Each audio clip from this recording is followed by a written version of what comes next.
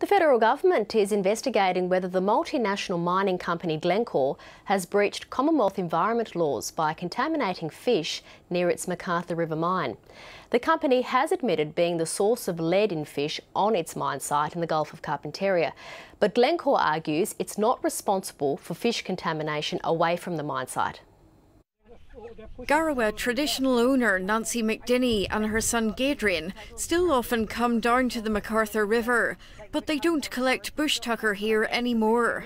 We live off this river, river yeah. like fishing, but we mm. cannot do this anymore because I think it's really poison and polluted.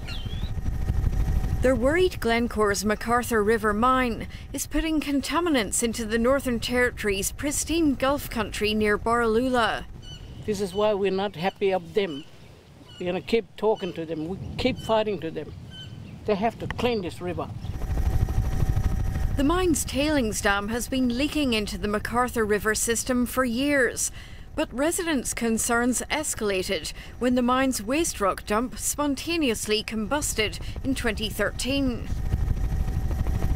The fire is now out, but there's still the threat that the dump's reactive rock is leaking acid, metals, and salts into the river.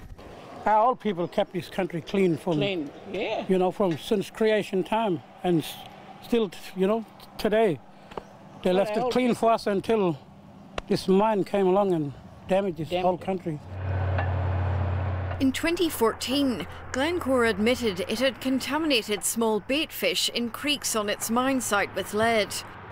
Correspondence obtained by the ABC under Freedom of Information laws show the Health Department's Stephen Skov pushed for public warnings against fishing in two McArthur River tributaries. My suggestion was to put some signage up uh, about it. But Glencore protested and instead put up no trespassing signs.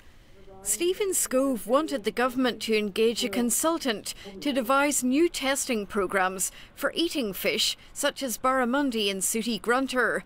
He threatened to tell Borroloola residents the mines department was reneging on helping to pay for the study. People need to know what's going on and they need to have some confidence in the in the program that's in place.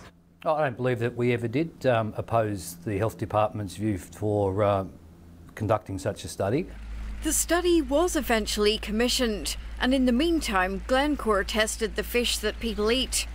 The latest results have found lead and zinc in eating fish and shellfish on and off its mine site are not safe to eat. Although Glencore has admitted to the on site contamination from dust and seepage, the mine says lead isotopes in the fish off-site show that contamination is natural from metals already in the environment. Each particular ore body or source of lead has a has an isotope or, or, a, or a, signature, if, if you like, uh, and you use that to determine where the, where the lead is coming from. Government regulators aren't convinced because the mine wasn't made to do enough baseline tests before it opened. I couldn't say that what we were seeing was because of the mine, and I couldn't say that it wasn't because of the mine either. There's no evidence that there is um, minerals or contaminants leaving the mine site and having an impact on fish stocks. There's no evidence that there's not. The federal government isn't convinced either and is investigating whether fish contamination has breached environmental law. The Environmental Protection Authority says it's not a great concern yet.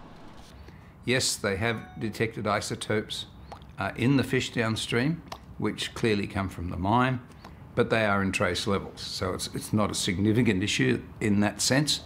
Until the fish consultant's report is released, the health department is advising Borroloola people only to eat fish two to three times a week and shellfish less often than that. Jane Bardon, ABC News.